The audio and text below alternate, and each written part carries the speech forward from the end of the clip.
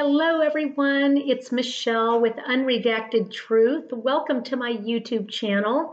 This is Everything Beauty. Tonight happens to be candle reviews, um, mainly luxury candle reviews, and a few that meet all the qualifications of a luxury candle without that high price. So I know some of you have been looking for solutions to having it clean, burn clean and healthy for your environment and yet you don't want to pay 75 80 $100 for a candle that's going to burn away. So i do have some of those for you tonight so let's just jump right in. Okay so first of all welcome to my home. I'm doing this downstairs not in my office I figure with my Unredacted Truth channel about politics, you're a little bit tired of my office. So I thought I would bring you down here to the living area where I actually live. So what I want to do is I want to start with the three which I reviewed last time or two times ago that surprised me greatly. Now, um, you will remember, and I'm going to go ahead and set these up here on my little tic-tac-toe game. You will remember that I reviewed these last week. And but last week when I reviewed them, I had not lit them. So I gave you my thoughts, my feelings on the cold throw and how they were. And I did really like all of these. However, I was shocked about these particular three, and let me just share those. So, one that I was a little bit shocked about is the Diptyque Clos de Bois. Sorry, Feu de Bois. Can you see that? It's just too bright, right? Let me see. Let me block the light. There we go. Feu de Bois by Diptyque. Do you see how much I have burned. I absolutely love this. It is feu de bois in French is fire of wood. So it literally is a wood fire and it smells so amazing. So it smells like you're burning really good wood, like maybe cedar and fir and some beautiful woods all blended together. Diptyque just blends things beautifully. So you can't pick out specific notes, but there is the littlest bit of floral in there that keeps it from smelling like a fireplace. But it's kind of shocked me how much I love this smoky smell. And throughout the week since I was last here, I've had some of them just sitting around the different areas downstairs, which is where I do all my investigation and all my research and my phone calls. And I kept getting a whiff of this and I kept moving it closer and closer until it was sitting right next to me on the coffee table because I love getting whiffs of this even when it isn't burning. And as you can see, I've already burned half of it. That was a little surprising that I liked such a smoky scent because I don't always go for real smoky. I don't like anything that smells like cigarette smoke and I don't really like real ashy smoke, but I do love the smell of wood. So this just, Diptyque does it beautifully. It's one of the reasons they're very expensive is they use very top quality in, in top quality ingredients, but they also, they have these amazing Parisian perfumers who actually come up with the fragrances. These aren't just someone decided to do a candle company and throw together some essential oils. These are top noses in the world. So that is Diptyque Feu de Bois, one of my favorites so far. Okay, the next one that absolutely shocked me, let me block that light so you can see the candle. You can see how much I've burned here. And that is called, that is Diptyque Roses. Now, it really surprised me. because I told you last week that I really don't care for florals and I like a little bit of floral mixed in with a rich, like ambery or even patchouli, which I don't like dirty patchouli, but I love a clean, fresh patchouli as a base note mixed in with a little bit of floral and, and then amber and just rich, rich notes. But roses, I did not think I would like. It smells like a bouquet of roses, a fresh bouquet of roses. It is one of Diptyque's best sellers, and I was never even going to try it because I really don't like, especially rose scents, and really don't care for florals. I thought. The difference is this is so pure. This is not a fake rose smell. This isn't an old grandma smell. This smells like fresh cut roses. So, what I've discovered is when you light both of them together, the roses and the feu de bois, it is a match made in heaven. It smells so fabulous, and the entire room will smell good. I'm starting to train my drop dead gorgeous husband, and he is he will come into the room and say, "Oh, the notes are drying down." He's starting to get used to my fragrance and perfume reviews, and now we're jumping in with candles. So he has different scents of candles every day, but even he loves this combination of roses and faux, faux de bois. And let me bring that a little bit closer. These two, you have got to You've got to light these together and then blow them out. Don't blow them out.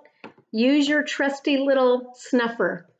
Now, the end of my snuffer, see how the wax is on there? Because you're supposed to try not to touch the wax. I don't know how, you must be a professional to do that, but the scent on the end of my snuffer, I want to make a candle of that. So I think when all my candles are burnt down, I think what I'm going to do is microwave them all, mix them all together in one jar, and have a scent that smells like this, which is addicting. You you can't even. Can you take a little sniff? That smells so good, you would not even believe it. Okay, now the one that absolutely shocked me because it was the only cheap candle that I shared last week and I bought it. It was a total blind buy. And because I know that these are DW candles, and I knew that they're pure, they're clean, they use soy wax, they use cotton um, wicks, they burn clean. So even though they're cheap, and they use a lot of fake ingredients in the scents, but this one specifically, I heard that it's all natural. So I thought I'd try it because I love, love, love oud and I love bergamot. So you guessed it, this one, and it comes with this beautiful little lid on it. And that is, whoop, looks like it says tomato. Let me move that light for a minute. Bergamot oud, beautiful little candle. Callie, there you go.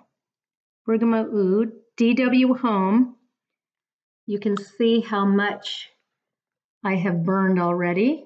And remember, these, wet, these wicks need to be trimmed before I light them again. I will trim them down to an eighth of an inch. That way they burn clean, they burn solidly, and I'll, I'll share something about that in a minute. Anyway, this is the one that absolutely shocked me because Diptyque is like, like you're buying a Francis Kurkdjian or a, um, a Parfums de Marly or even Givenchy or any of the the um, the fragrance houses, you figure even if you even if the scent isn't up your alley, it's still going to smell beautiful. This is the one that shocked me because it's cheap. I didn't think I'd like it. I thought I'd probably end up giving it away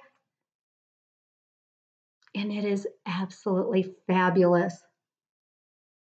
The bergamot smells very much like lime to me. It's definitely a citrus. but that oud is the most beautiful oud. Mm, it smells amazing. So I have had candles lit all over the house all day. That is, anyway, just absolutely amazing. DW Home Bergamot Oud. And oh, and the one, the thing that I wanted to let you know is the throw on these things is unbelievable. These are small candles and I can fill up this hole. I don't know if you can see, but it goes all the way to the window right there, all the way back to the kitchen there. It, this is a huge, great room right here. And, and lighting two of these little candles at the same time will fill the whole room and you'll actually smell it into the living room right through here. So absolutely amazing the throw on these expensive candles and shocked me on this DW home. So this is the only DW home I've ever tried. Um, obviously, I'm a new candle connoisseur. And I would highly suggest you just look through their website. They have a website. I'll put links below. Remember, you click on the more button. There's a little a little thing that says more under my intro, and you click on that and it'll have all the links. I know last week some of you said, could you give me the links for the Tyler candles? And they're all under there. Okay, so the next one, so anyway, those are the three I have lit. The rest of these are cold and I want to share them with you. This is the Benevolence LA. Again, this is, they're all soy wax, essential oils, cotton wicks, healthy for your home atmosphere. Beautiful, beautiful packaging, the gold writing.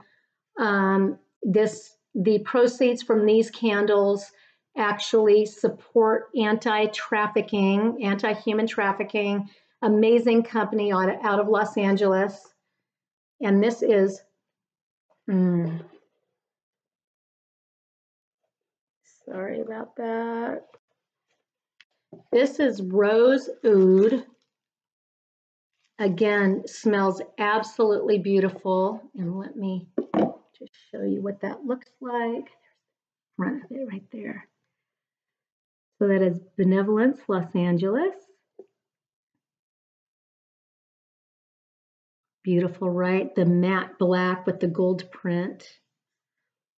And um, this is a good size candle. I think this is like 50 burn hours, maybe 55.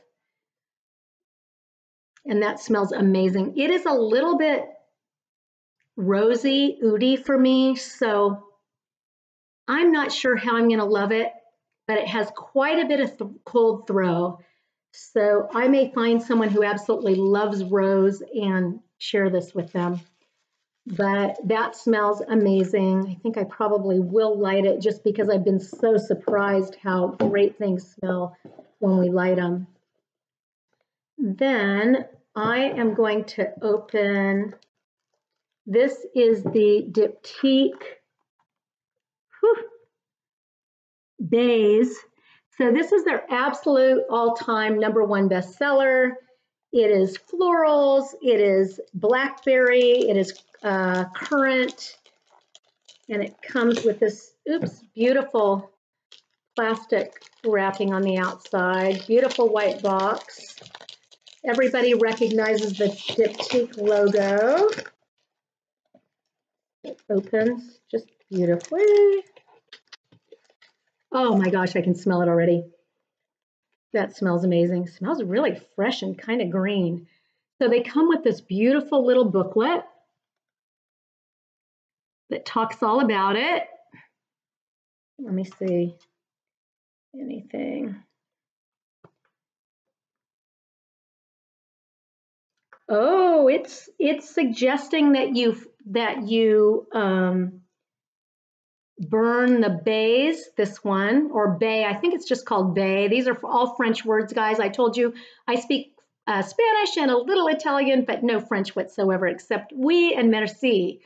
So um, this suggests that you burn the bay with the roses together. So that will make a whole new scent. That's wonderful. And then there's, so that's on a card that just has other suggestions for you. And then there's the other, the whole little card that talks about their, what they put in them. It's really beautiful.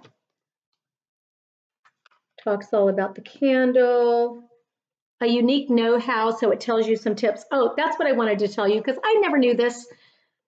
But you need to let the entire surface of the candle melt the first time you ever light your candle, no matter how big it is. So it'll be between one and three hours, depending on the size. Um, this beautiful sand and fog, you know, it's going to be three hours burning that one the first time so that it, um, oh, and here I have the beautiful top that came on it.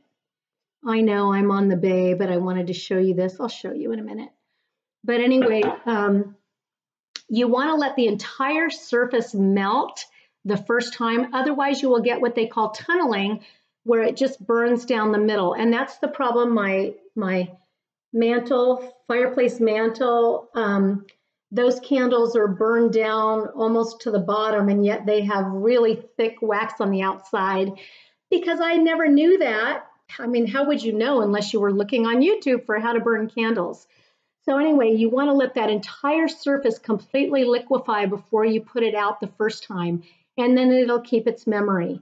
If you blow it out after a half hour, you'll get a little circle inside, and then every time you light it, it'll burn within that circle. So I learned that way too late. I can smell this and I haven't even opened it. So it's a beautiful box. It has the cover here too. And then you open that and there is the candle. Let me take that out. You don't want to drop these things. These are gold. So this is the bay. Look at how beautiful that is. Just perfectly smooth surface. Beautiful, beautiful Diptyque Baies. And it smells so amazing. Definitely floral, but there is a little bit of depth in the base. Not sure what it is though. That's one thing about really good perfumers is they they blend so well that you can't really pick out individual notes. And that's it. I think I might smell a little bit of grapefruit in here.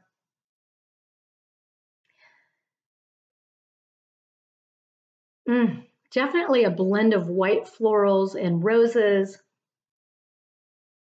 and currant, blackberries, some kind of dark berries, probably blackberries. Mm, that smells amazing. So I have not lit that one yet, so I will be doing an update. Let me set that there.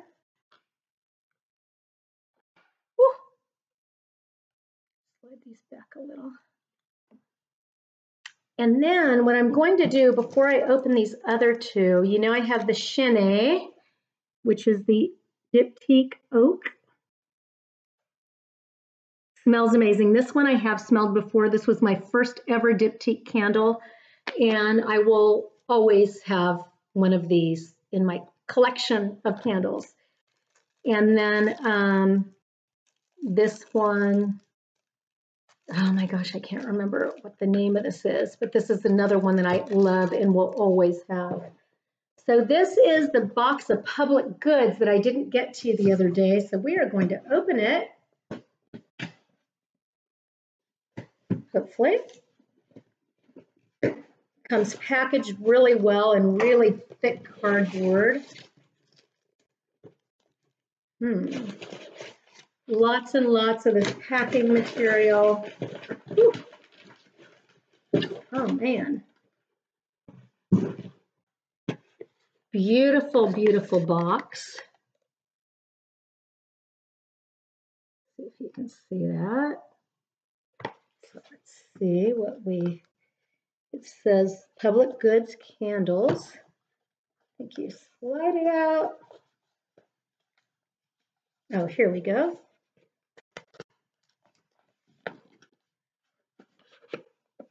All right. Packaged really well again, little wooden tops on these. Let me see what we have. Oh, those are beautiful. Pull it back here. Need to block this light. So we have that one. Mmm. Very, very woody. Look at that beautiful smooth white surface. Let me see, what is that called? Oh, cedar and suede. Yeah, definitely woody, and you can smell, it smells like leather to me, but then again, I don't have a very educated nose. I'm sure there's a huge difference between the way suede smells and leather smells. Has this beautiful wooden top, and it's it's kind of important to keep your candles when you're not using them to keep them covered because the scent will eventually fade out. So, um, so that is cedar and suede. Put that one there. I don't remember what these are. So this is black currant. Mmm. A little bit of pine or something in there though. So that is black currant. Look at these beautiful labels. Just beautiful. The back is just plain. The front has the very simple, elegant label. Black currant, that smells amazing. There's something in here. Definitely smell the black currant, which reminds me a lot of the bay. But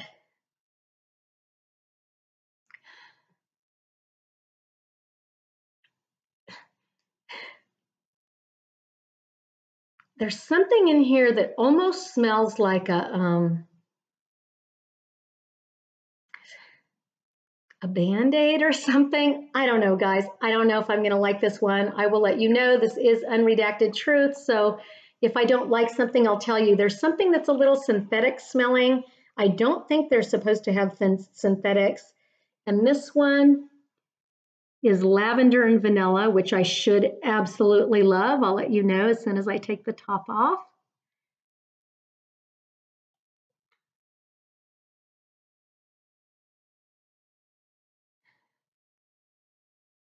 Mmm.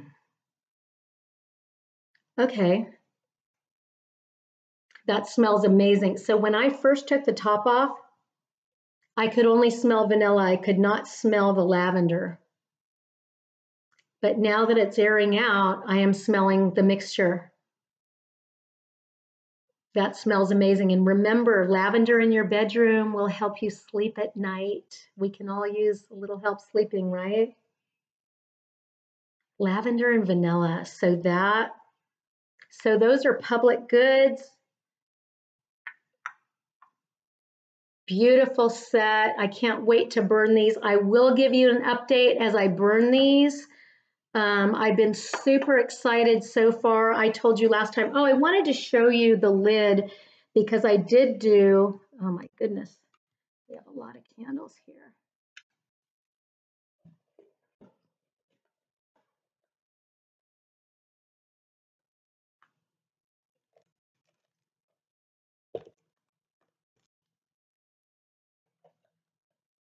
A lot, a lot of candles. Um, I did do a review on this one, Sand and Fog, last time. It's absolutely stunning scent. They're very inexpensive and they do, there's a little problem with not knowing what scent they are. So if you don't actually smell them, I don't know how you're supposed to know because they just have names like, so this one is called um, Festival of Lights and it has a beautiful blue velvet menorah on top. Can you see that? So this one was actually not a blind buy. I actually smelled this in the store and I normally wouldn't have bought one with a blue velvet menorah because it doesn't really go in my home, although I love, you know, I'm a Christian, I am a Jew grafted in, but um, they have these beautiful wood very sealable lids.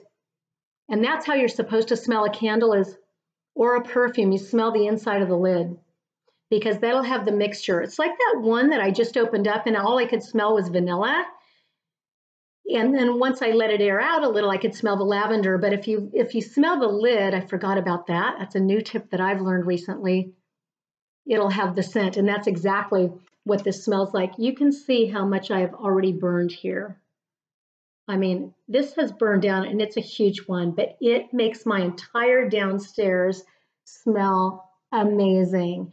So then they have a little story of the women who, oops, that's upside down, a little story of the women who created this sand and fog. They were, they're in Orange County, three women, friends got together and created luxury candles that don't cost an arm and a leg because they were moms and they realized that, hey, we want beautiful smelling things, but we don't want to pay a $100 for a little candle this size that's just going to burn away to nothing. Although it might be worth it. Might be worth it to invest in a couple really good ones.